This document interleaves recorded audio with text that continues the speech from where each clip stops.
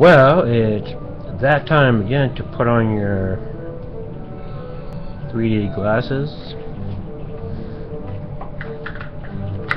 and your stereophonic headphones and now you listen to the movies.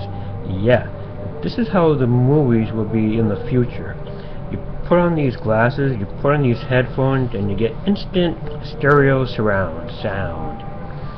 Now, the thing is, you see, I don't need to wear these.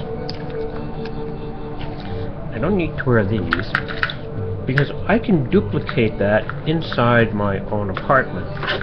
Unfortunately, there's too many old fogies in here, so I can't duplicate that. I can if I want to, but there's too many old fogies.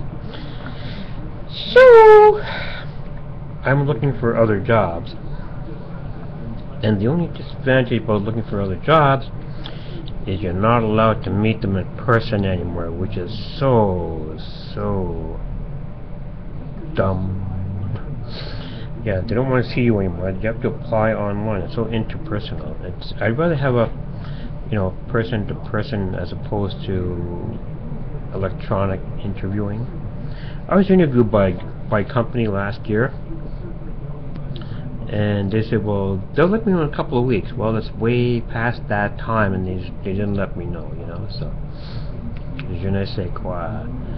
But, uh, that's what I have for you this year. Talk to you soon! Oh, by the way, go check out this movie called Life of Pi. Now, it's in 3D, but there's not a lot of 3D in it to begin with, but it's a really, really good movie, shot on location. Excellent movie. Like I said, the three, there's no it wasn't much of a 3D in that, but it was it's a good movie. So, talk to you later.